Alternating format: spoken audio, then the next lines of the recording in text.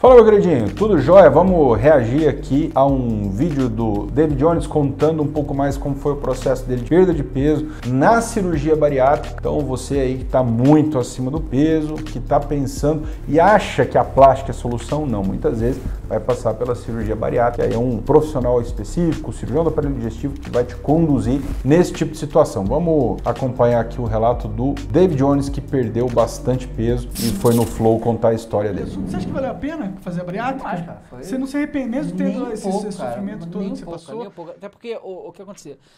É, eu. Cara, eu sempre odiei ser gordo.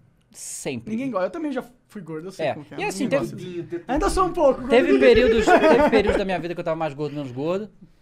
E, e sempre foi muito, muito difícil, sabe? Eu, eu, eu odiava minha aparência, eu achava horrível. Fora todos os outros problemas de saúde que vem, né? Tipo, eu não dormia bem mais, faz, fazia tempo, Roncava eu não lembrava. caralho. É, e, sabe, acordava respirando, era horrível. E quando eu fui no médico, ele me passou uma estatística que quando ele falou isso, que eu falei, não, eu tenho que fazer essa porra. Que ele falou assim pra mim. Ele fez lá minha composição corporal, não sei o que ele falou, e eu tava, o meu peso era o mínimo que podia ter pra fazer cirurgia. Se eu tivesse, tipo, se eu tivesse um quilo a menos, eu não ia poder fazer cirurgia. Legalmente falando, sabe? Porque tem umas questões legais. Então, era bem no limite. E aí ele me explicou, cara, 95% das pessoas que estão na condição que você está hoje não conseguem atingir o peso saudável mais. Não importa o que faz. 5% consegue. Sério? É. Caralho. 95% não consegue. Eu falei, cara, quem sou eu pra quebrar uma estatística dessa, tá ligado? tipo, Acho que é é uma estatística interessante, na verdade. Por que a gente indica a cirurgia bariátrica? Porque os pacientes com IMC 35 e que têm problemas de saúde, pressão alta diabetes, eles têm uma longevidade, eles vivem muito menos né, do que o paciente que faz a cirurgia.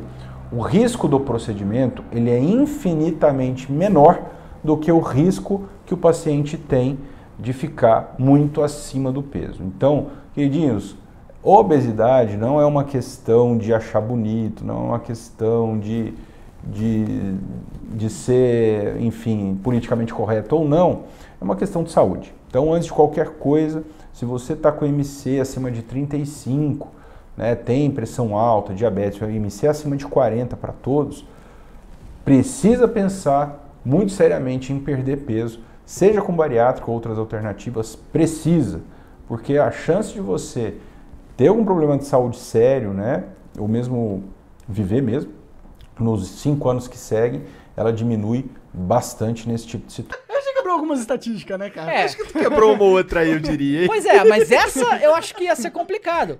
E aí ele me e uma coisa que ele me explicou é que o problema maior é o metabolismo do coisa. Porque ele falou, cara, você pode fazer exercício, você pode se alimentar bem, você pode fazer e pode não adiantar nada. Sabe? Isso aqui é pior, né? É, e, e assim, fala que o- Ah, será? Pior, porra. física. Se o cara não O colocasse gordinho sempre pensando na solução mais fácil, né? Então, aí que não, o problema é. É saudável, não- isso É, não sei. Então, tem isso, e não é, não é questão de. É questão de como que você se livra da gordura que tá aí. Aí que tá. Se você come pouco, quando você é gordo do jeito que eu era, quando você come pouco, o corpo fala, caralho, esse, esse idiota tá comendo pouco. Então tem que guardar as reservas. Então o que você come acaba virando merda também, dentro de você. E o metabolismo é bagunçado total. Sim, sim. E essa cirurgia, cara, ela não é. Você não emagrece porque você tá comendo nada, não. Você, emagrece porque o seu metabolismo reseta. É lógico que não comer nada influencia. Mas o seu metabolismo reseta. Tanto que agora, tipo, eu não consigo ganhar peso porque meu metabolismo tá fulminante, rapa caralho, entendeu? Então é por isso que eu não tô conseguindo ganhar.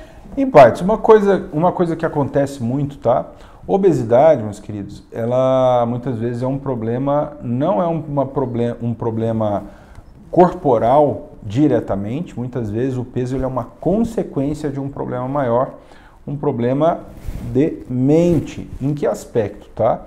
Muitas vezes é muito comum, tá? O paciente ele tem um nível de ansiedade, de estresse tão alto que ele desconta tudo no alimento, tudo na comida. Então, é um problema de ansiedade ligado a hábitos, na imensa maioria das vezes. E o que acontece? Você tira a comida do paciente que utiliza a comida para, digamos, fugir da ansiedade, ele vai precisar buscar outros meios para, digamos, se compensar em relação à ansiedade. Então é muito comum, tá? Paciente que faz bariátrica, ele ter problemas com outras, com outros vícios, inclusive, né, mesmo álcool, drogas, eventualmente o paciente assume um nível de ansiedade muito, muito alto, se ele não consegue compensar de nenhuma outra forma. Né? Você vê aquele cara muito agitado, agitado, agitado, provavelmente tem um nível de ansiedade alto pra caramba.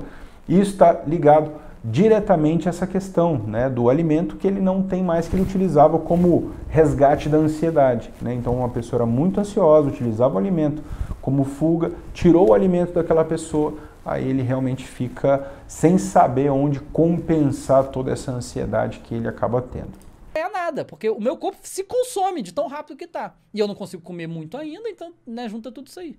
Mas gosta de comer pra caralho. Ó, claro que Comer é bom pra Comer é caralho. bom, né, Então, cara? isso é uma das paradas que eu fico pensando, cara. Eu fico assim, caralho, eu sou gordo. Eu faria uma bariátrica. Eu fico pensando, caralho, eu gosto de ir numa churrascaria. Tá ligado? Eu, eu não sei se eu tô afim de abrir mão de ir numa churrascaria, encher o cu de carne, É, ficar maluco pois é. de carne. É, uma pa- Tá gordo pra caralho, é, né? é algo que você não pode fazer, mas. Não, eu, eu fui no churrasqueiro outro dia, mas não comi quase nada. Nem come ali É, devagarzinho. mas, eu- mas eu vou te falar que não, não me. Mas o importante é o sabor da comida ou se sentir estufado? Não, pra mim é o sabor da comida. Esse foi um dos motivos aí que eu comecei a ver esse bagulho de culinária também. Foi que, cara, eu vou comer pouquinho, mas o que o pouquinho comer tem que ser comer bom. o melhor né? possível, É, né? Então é um aí que a gente começou a trabalhar esse negócio aí de fazer as paradas loucas, que aí ficou mais gostoso. Então é isso, meus queridos. O que é importante que vocês entendam que essa questão de obesidade não é uma questão estética por si só, mas uma questão de saúde, certo? Então, se você está muito acima do peso, não é cirurgia plástica, não adianta. Ah, vou ali fazer cirurgia plástica porque eu quero emagrecer, porque eu tô gordinho. Não, tá? Se você está com MC acima de 30, você não tem indicação de cirurgia plástica. Entre 30 e 35 você precisa perder peso, dieta e atividade física. Acima de 35, se você tem pressão é de IMC, tá? IMC acima de 35, se você tem pressão alta e diabetes, eventualmente a bariátrica pode ser uma solução para você. IMC acima de 40, índice de massa corporal acima de 40, você precisa muito provavelmente da cirurgia bariátrica. Certo? Curta aqui, compartilhe, comenta se você já fez, não fez, se precisa. E aguardo vocês no próximo vídeo. Valeu!